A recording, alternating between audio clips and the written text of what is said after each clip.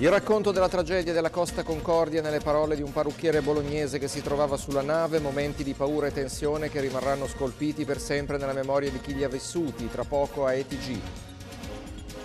La Giunta Merola si schiera con l'Università dopo le lamentere del Consiglio Comunale, escluso dagli inviti per l'arrivo di Napolitano, sindaco e assessori apprezzano le parole del Rettore e studiano l'ipotesi di invitare il Capo dello Stato a Palazzo d'Accursio.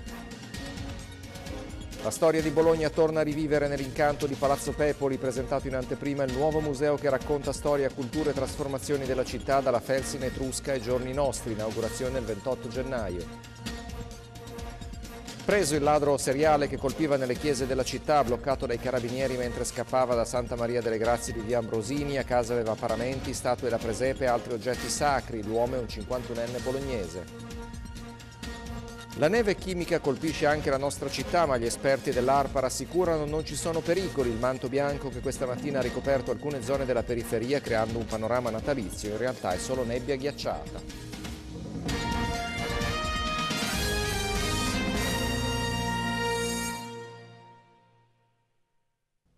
Buonasera a tutti dalla redazione di ETG Bologna. Tutto il mondo in questi giorni ha parlato della tragedia della Costa Concordia, abbiamo eh, visto le immagini, abbiamo sentito, raccolto le testimonianze eh, di chi si trovava sulla nave eh, in quella terribile serata. Noi questa sera vogliamo invece proprio parlare eh, direttamente proprio con chi eh, si trovava sulla nave, con uno degli oltre eh, 3.000 passeggeri che si trovava sulla nave proprio al momento del disastro. Siamo in compagnia di Luca Selleri, parrucchiere bolognese, buonasera, buonasera. grazie per essere qui con noi. Eh, lei come dicevamo si trovava sulla nave al momento del disastro, abbiamo visto tutte le immagini della Costa Concordia, ne stiamo parlando davvero da tanti tanti giorni perché è un fatto che ovviamente ha suscitato enorme eh, emozione, enorme scalpore in tutti. Lei si trovava sul posto, come ha vissuto innanzitutto subito in quei momenti?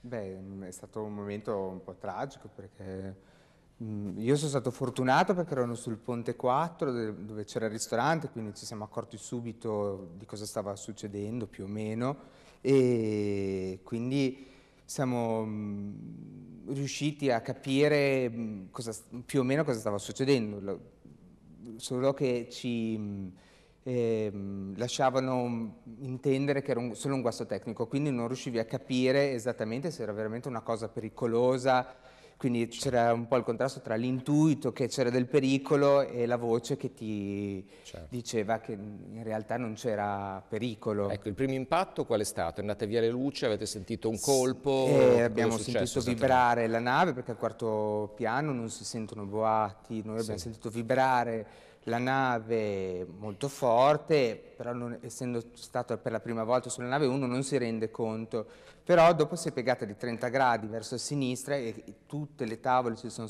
mm, mm, sparecchiate, sono partiti piatti ovunque. Quindi è successo piuttosto rapidamente questo rapidamente, movimento nel giro sì, di, di giro di qualche tempo? secondo mm. ed è andata via, c'è stato un blackout, è andata via la luce Dopodiché, quando è ritornata la luce, tutta la gente ha cominciato a fuggire presa dal panico totale. Ecco, qual è stato un po' il comportamento dell'equipaggio? Che cosa vi hanno detto, cosa vi hanno detto di fare in quei momenti? l'equipaggio eh, sembrava molto impreparato perché mh, mm, non sapevano neanche loro esattamente cosa stava veramente accadendo, se era un codice mh, mm, di pericolo oppure no. Quindi mh, mm, loro praticamente dicevano io purtroppo mi sono perso un po' per, per i piani del, della nave quindi vedevo personale che diceva che era un guasto tecnico quindi di lasciare i giubbetti di salvataggio nelle cabine di non avere paura o di rimanere dentro le cabine. Quindi non vi hanno detto subito di indossare no, i giubbotti di salvataggio ve l'hanno detto dopo due ore. due ore ci hanno fatto praticamente eravamo già ormai tutti pronti per, uh -huh. perché avevamo intuito, perché la nave ha cominciato, si è inclinata prima da un lato, poi si è addrizzata, quindi sembrava veramente un guasto tecnico, poi ha cominciato a inclinarsi dall'altro lato, quindi lì cominciavi a vedere, sul, io che finalmente ero arrivato sul ponte, ho trovato anche il mio gruppo alla Scialuppo 17, e si era inclinata talmente tanto la nave che dalle, dalle porte a spinta uscivano i carrelli d'acciaio delle cucine e sbattevano contro le, certo. le barriere della, della, nave, la roba da schiacciare qualcuno. Quindi era difficile anche rimanere in equilibrio sostanzialmente Beh, rimanevi inclinato, non era, era oscillante, cioè mh, si inclinava ma molto lentamente, però ti trovavi sempre più inclinato. Infatti la mia scialuppa, che essendo al quarto piano, aveva due metri, tre metri dal, di salto certo. nell'acqua, cioè, quindi eravamo veramente arrivati a un'inclinazione. Per me il, il, mio pia il quarto piano, dopo 20 minuti che siamo scesi, quindi alle 11, 11.10, ah, si è allagato dopo. Senta, si è parlato molto in questi ultimi giorni del comportamento del comandante Schettino, su cui ovviamente c'è un'indagine in corso, non entriamo nei particolari. Le chiedo però se eh, lei ha avuto la sensazione, innanzitutto, se il comandante in persona, in qualche modo attraverso un appello, eh, vi ha informati di quanto stava non succedendo oppure no? Eh. Non ha mai parlato, c'è sempre stata una voce che parlava per il comandante. Lui non ha mai parlato con nessuno, non, ma infatti dalle notizie si sa anche che ha dato l'allarme un'ora dopo. Quindi lei personalmente non ha avuto neanche occasione di vederlo, ma diciamo no. anche in quei no, momenti? No, anche perché io veramente ero poche ore, eravamo appena partiti, gente, certo. cioè, non abbiamo neanche avuto il tempo di fare ehm, l'addestramento di, cioè, di certo. allarme, quindi non sapevamo esattamente come muoverci sulla, sulla, nave, il personale non era adeguato, non sapeva neanche l'inglese, quindi gli ordini che prendevano in inglese non sapevano nemmeno capirli. Certo. Ecco, le operazioni di salvataggio come si sono svolte proprio materialmente? Sono state calate le scialuppe in una situazione Ma, di, di, di, allora, di il panico? era totale, quindi io ero incanalato nella, nella mia corsia per, davanti alla mia scialuppa dove la gente cominciava ad andare in crisi perché voleva salire. La, il nostro mm, bengalese o filippino, questo personaggio, non sapeva né l'italiano né l'inglese, quindi quando è stato dato l'ordine di aprire la scialuppa non l'ha capito. Quindi abbiamo dovuto richiamare la persona che le ha dato l'ordine, che era un italiano. Questo era un membro dell'equipaggio, questa persona di questa sì, persona? Sì, per me faceva il cameriere prima mm. probabilmente, perché eh, avevano tutti un doppio, doppio ruolo. E quando siamo saliti sulla scialuppa, con fatica, perché non ci voleva far salire, quando è arrivato il mio turno, perché io ho fatto passare davanti molte persone con altri, c'erano delle persone che avevano più bisogno di certo. salire, e ho mh, praticamente, mh, quando è arrivato il mio turno, ho dovuto dare una strattonata al signore perché non mi faceva salire più sulla scialuppa e ci stanno 140 persone in una scialuppa, quindi certo. ci stavamo benissimo tutti. Quando siamo arrivati sulla scialuppa non riuscivano bene a sganciarla, non so, ma il ragazzo che era alla guida è andato completamente pal nel pallone e fortunatamente quando siamo scesi, che abbiamo, ci abbiamo messo pochissimo, stavamo andando contro alla nave con i cavi di acciaio di, di, di, che tenevano le scialuppe che rischiavano di venirci eh, contro. Certo. Quindi ha preso in mano un ospite della nave, che era ospite come noi, ha preso in mano la situazione e ha guidato lui la, la scialuppa e ci ha portato dentro il porto. Dentro il porto. Le chiedo un'ultimissima cosa, naturalmente, eh, quali sono le sensazioni che le rimangono di questa drammatica esperienza? Lei mi diceva ancora ha dei momenti un po' eh, do, di vuoto dovuti ovviamente allo shock e a questa sì, notte terribile. Lo shock non è soltanto basato solo sul contesto della nave, ma anche tutto quello che noi abbiamo passato una notte al freddo, dispersi su quest'isola. Certo la gente ci ha accolto benissimo quel che poteva fare però il ricordo non è proprio, adesso io sto ancora metabolizzando perché non è proprio, certo. io per i primi tre giorni ho avuto proprio onde, mh, vertigini molto forti e dei vuoti di memoria che sono dati da un post traumatico. Tornerà su una nave? Ma chissà. Oppure. Questo ancora non l'ha deciso. Io adesso dovrò prendere un aereo o faccio fatica a prendere anche quello. Benissimo, grazie ancora Luca Selleri per questa testimonianza, una testimonianza davvero eh, molto importante di chi ha vissuto questa tragedia di cui tutto il mondo sta parlando in questi giorni. Cambiamo argomento, l'amministrazione comunale è coinvolta nell'organizzazione della visita del Presidente della Repubblica Giorgio Napolitano a Bologna e quindi cercherà di fare incontrare il Capo dello Stato con il Consiglio Comunale a Palazzo d'Accursio. Lo ha detto l'assessore Rizzo Nervo gettando acqua sul fuoco delle polemiche sui mancati inviti da parte dell'Università alla cerimonia nell'aula di Santa Lucia. Sentiamo. Mentre in Consiglio Comunale non si è ancora del tutto sedato il malpancismo di quanti si sono sentiti esclusi dalla cerimonia di conferimento della laurea ad honorem al presidente Giorgio Napolitano, la Giunta a Merola prende in qualche modo le difese dell'Ateneo bolognese che per motivi di sicurezza e mancanza di posti ha limitato gli accessi all'Aula Magna di Santa Lucia, dove si terrà la cerimonia il prossimo 30 gennaio. Le motivazioni dell'Ateneo e del rettore Ivano Dionigi sono valide per la l'assessore comunale Luca Rizzonervo, appena nominato ai rapporti con il Consiglio, e dunque non resta che prenderne atto. Tuttavia, fa sapere Rizzonervo, il programma della giornata bolognese di Napolitano non è ancora del tutto definito e il Comune di Bologna è pienamente coinvolto nell'organizzazione dell'accoglienza e non mancherà il modo per sottolineare l'importanza del Consiglio Comunale un aspetto, conclude l'assessore, sul quale l'amministrazione sta lavorando. Non è detto che si trasformi in una visita nell'aula di consiglio, ma una forma sarà trovata. Sta per vedere la luce l'atteso Museo della Storia di Bologna Palazzo Pepoli, l'ambizioso progetto della Fondazione Carisbo e ultimo tassello del percorso museale Genus Bononie. Oggi c'è stata un'anticipazione per la stampa, vediamo allora le prime bellissime immagini del museo nel servizio di Massimo Ricci.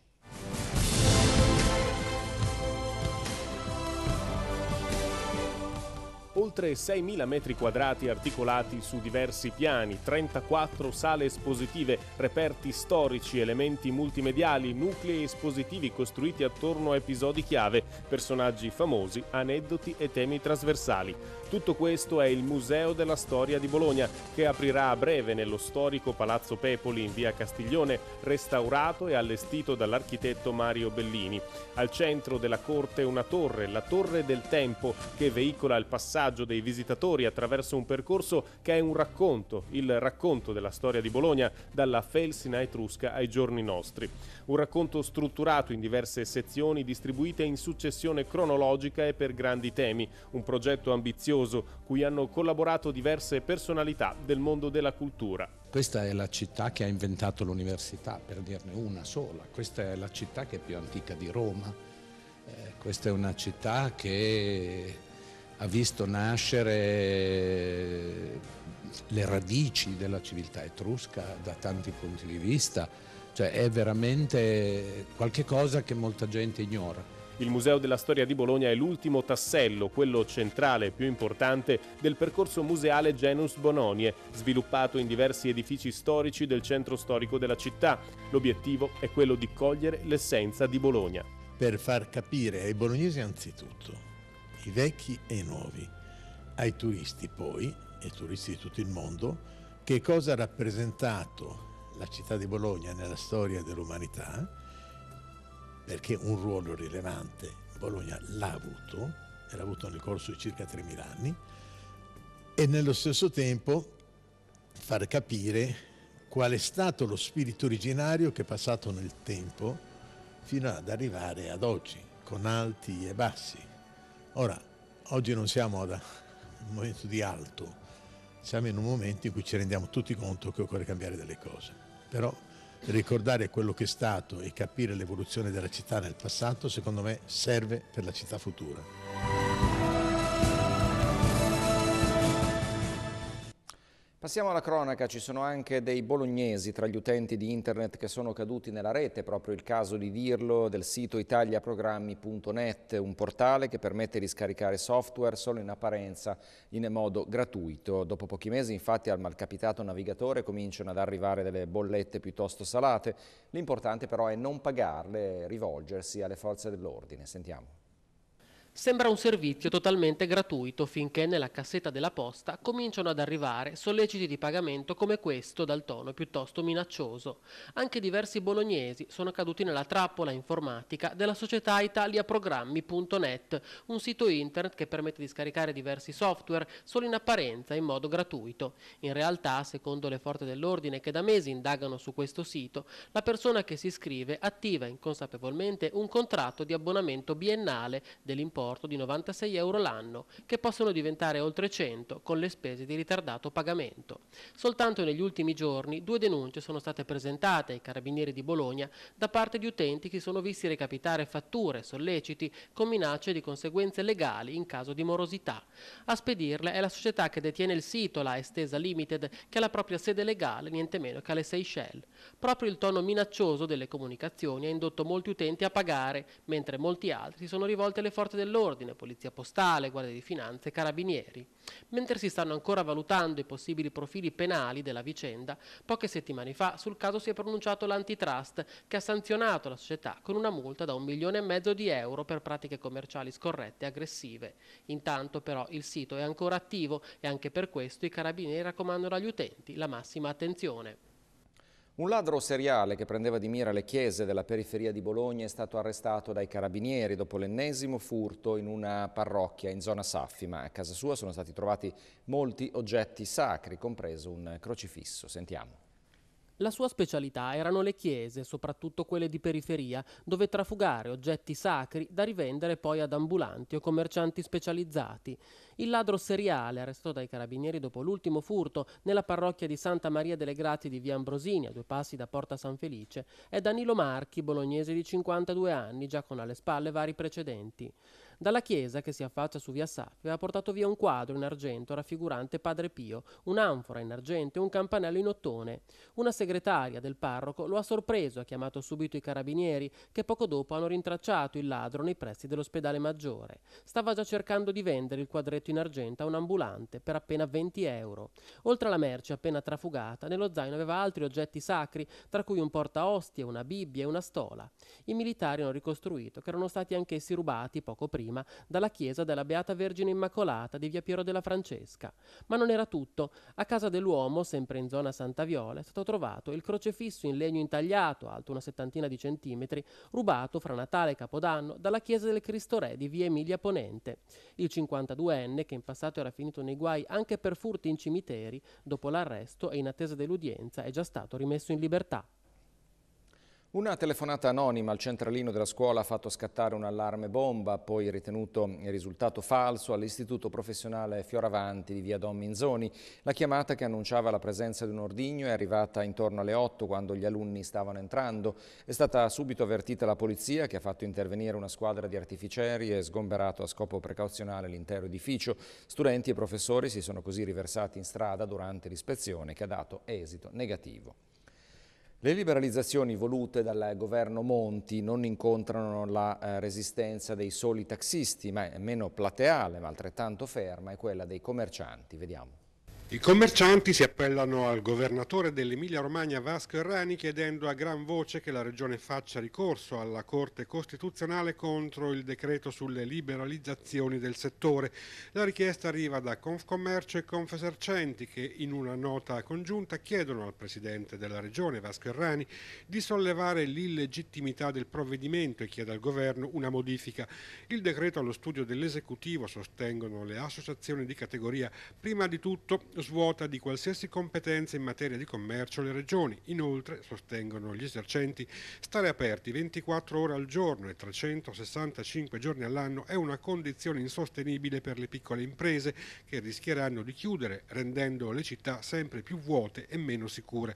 Secondo Confcommercio e Confesercenti, poi, le annunciate liberalizzazioni degli orari non faranno aumentare i consumi e non miglioreranno i servizi né aumenteranno l'occupazione, ma trasferiranno preferiranno solo quote di consumo dal piccolo e medio dettaglio a favore della grande distribuzione che già oggi con il 70% dei consumi detiene un'elevata quota di mercato. Insomma, le associazioni di categoria non ci stanno, per loro in nessun paese d'Europa avviene ciò che si vuole fare in Italia per il commercio. Tra l'altro, aggiungono gli esercenti, il sistema italiano della distribuzione commerciale fatto di piccole, medie e grandi imprese che si confrontano in un mercato pienamente competitivo e senza barriere all'ingresso assicura già ai consumatori livelli di servizio tra i più elevati sia in Europa che in Emilia-Romagna. E sempre a proposito di liberalizzazioni, oggi i rappresentanti dei tassisti si sono incontrati a Roma con il governo, l'incontro è andato bene, il giudizio espresso dai sindacati di categoria è positivo. Per ora ancora non sono trapelati i dettagli, ma secondo le sigle sindacali i rappresentanti del governo Monti hanno giudicato ragionevoli le proposte dei tassisti e saranno quindi discusse nel prossimo Consiglio dei Ministri. A Roma erano presenti anche alcuni rappresentanti dei tassisti bolognesi. In questi giorni di nebbia e gelo anche Bologna spesso si risveglia al mattino sotto una sottile coltre bianca. C'è chi ha parlato di eh, neve chimica, ma in realtà eh, non si tratta eh, proprio di neve, bensì di nebbia gelata. Andiamo a vedere questo servizio. Qualcuno l'ha già chiamata neve chimica, anche se finora si era sempre definita galaverna oppure brina. Fatto sta che questa mattina alcune zone della periferia di Bologna erano imbiancate come se nella notte ci fosse stata una nevicata. Qui siamo in via Stalingrado, nei pressi del Parco Nord, e le immagini girate verso le 10 ci mostrano un panorama suggestivo. Ma non si tratta di neve, i fiocchi non sono caduti, piuttosto è una sottile patina bianca che ha ricoperto tutto dopo una nottata in cui la temperatura è scesa fino a 4 gradi sotto zero. E anche gli esperti confermano che l'inquinamento potrebbe giocare il suo ruolo, come sottolineato dal collegamento di questa mattina nella nostra rassegna stampa vera la, la, la tesi del, del congelamento della, della, delle parti eh, umide dell'atmosfera, questa sì. nebbia che condensa e naturalmente precipita al suolo. Sembra che la, il, la combinazione con, con, agenti atmosferici, quelle quali l'inquinamento, porti a produrre questi pseudofiocchi di neve.